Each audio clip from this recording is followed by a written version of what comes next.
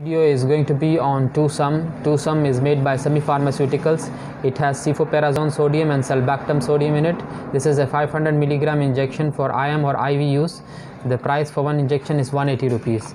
Cefoperazone, a bactericidal antibiotic, inhibits bacterial cell wall synthesis of actively dividing cells by binding to one or more penicillin binding proteins. Sulbactam is a B-lactamase inhibitor and acts primarily by irreversible inactivation of beta, uh, beta lactamase.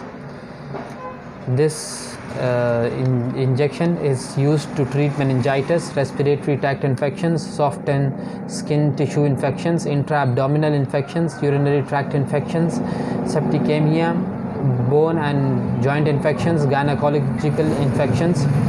And the dosage for this injection depends on the severity of the infection and the condition of the patient. And uh, this uh, injection should not be used during pregnancy until it's clearly needed. And although uh, cefoperazone passes poorly into breast milk of nursing mothers caution should be exercised when cefoperazone is administered to a nursing woman.